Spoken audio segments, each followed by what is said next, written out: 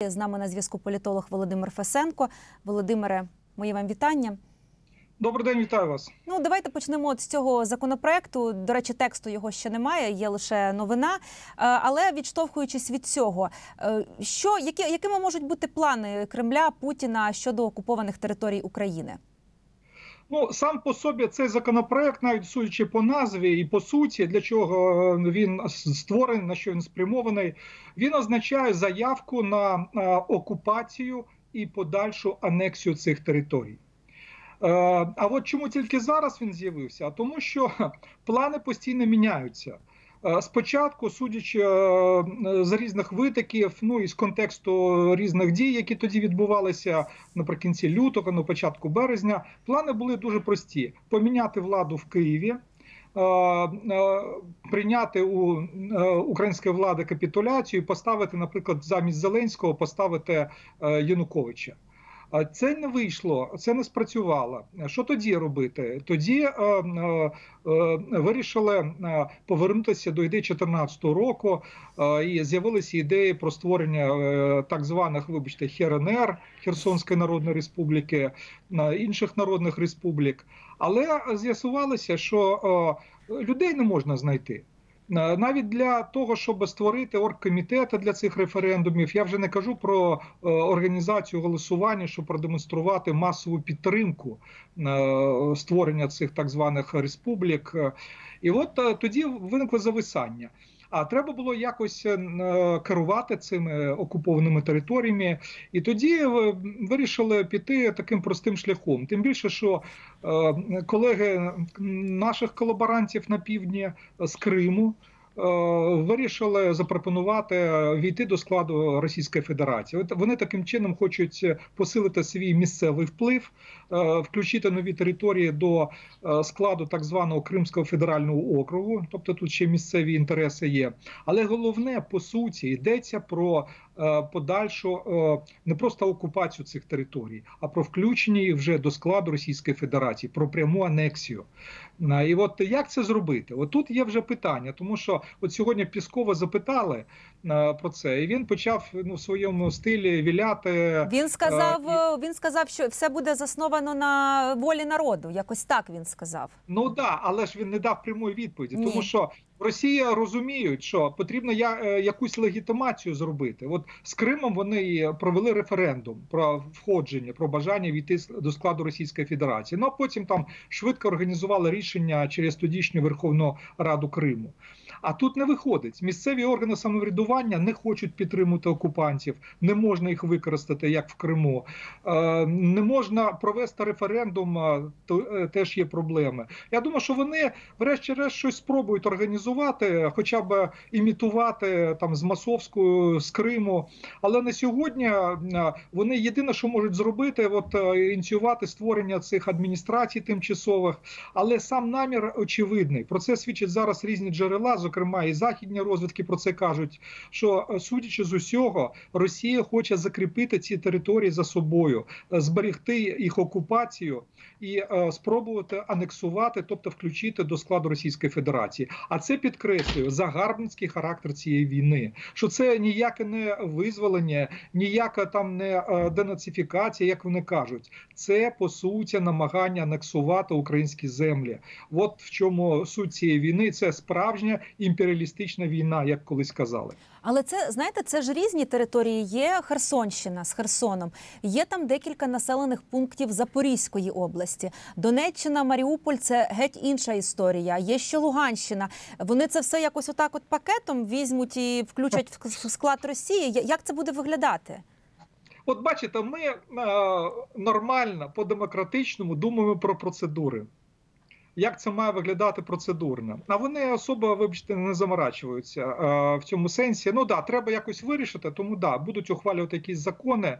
Ні, я думаю, що по-різному будуть вирішувати на долю кожної з територій. Ну, наприклад, е, деякі е, території Запорізької області, які межують з Донецькою областю, їх хочуть включити до складу ДНР. Що робити, наприклад, е, з півднем Запорізької області? Е, Його точно хочуть зберігати е, під контролем Росії, і це пов'язано просто з такими, я б сказав, геополітичними стратегічними намірами. Вони хочуть зберегти той самий коридор по суходолу до Криму від так званих ДНР, ЛНР до Криму, зберегти за собою контроль над північним узбережжям Азовського моря. А от що робити? Е, е, Приєднувати до Кримського федерального округу чи до складу ДНР, поки що остаточного рішення немає. Це от якраз підтверджує, що у них е, не було чітких планів. Плани міняються. Тому що першочергові плани, ну вірніше, первісні плани, які були спочатку, вони провалилися. Не вдалося їх реалізувати, не вдалося поміняти владу в Києві і приєднати е, до союзу з Росією всю Україну. І тому доводиться зараз імпровізувати, вигадувати щось. А оскільки є різні е, ідеї, різні лобійські наміри, е, то поки що остаточного рішення немає. Взагалі скажу, що е, давно ще до початку війни конкурують е, дві ідеї. Одна ідея відновити союз. Цьому році якраз сторіччя створення радянського союзу. А я нагадаю, що свого часу Путін, причому неодноразово, казав про те, що е, е, руйнація радянського союзу була головною геополітичною катастрофою ХХ століття. У нього є якісь емоції, е, якісь певні. Е, Сентименти. ностальгія да, по радянському союзу. Тому от є ідея відновити радянський союз тільки в новій формі. В новій формі. От Лукашенко обмовився, що мовляв, союзну державу треба створювати не тільки з Росії і Білорусі, а треба, щоб була там і Україна, і інші країни. Оце один проєкт новий союз. Інший проєкт Російська імперія в чистому вигляді. І, і схоже, ця ідея зараз домінує, е, превалює, тому що от про неї кажуть е, і кажуть про пряму анексію е, півдня України, кажуть про те, що треба приєднати до Росії е, так звані ДНР ЛНР, весь Донбас, а можливо і не тільки. Тому от ця ідея. Приєднання до Російської Федерації нових територій вона зараз є більш популярною. Хоча е, я так розумію, ну теж є витики, що економічний блок російського уряду категорично проти цього, тому що е, це е, такі величезні фінансові витрати, такі е, проблеми для російського бюджету, які вони можуть не потягнути. Ну, якщо, чує? як, як, якщо читати там російські медіа, аналітику їхню з джерел, зокрема, то економічний блок взагалі про плани Путіна дізнався 24 лютого. Да. Ну і Набіулін, керівниця Центробанку е, російського, вона хотіла взагалі піти відставку. Путін її не відпустив. Ну там, Ну, хоча ніби зараз фінансово вони почуваються ну за рахунок того, що високі ціни на нафту більш-менш спокійно, але враховуючи перспективи навіть частково нафтового ембарго і того, що багато трейдерів вже відмовляються від закупівлі російської нафти, і плюс доводиться продавати дешевше, то проблеми виникнуть в другій половині року. Але це другорядне. Головне, от розумієте, оце. um, uh, Імперське его, е, імперські амбіції, е, імперський атавізм, точніше, він просто пре з різних е, російських дірок і від різних російських суб'єктів політичних. Вони не можуть ніяк заспокоїтися, і тому вони хочуть відновити Російську імперію, тому прагнуть анексувати українські землі. Чи правильно я вас зрозуміла? В вирішення е, повернення цих українських окупованих е, територій наразі неможливо дипломатичним шляхом, шляхом переговорів. Ви вірите в таку в такий розвиток подій? Е, Щодо переговорів, е, є е, ризик того.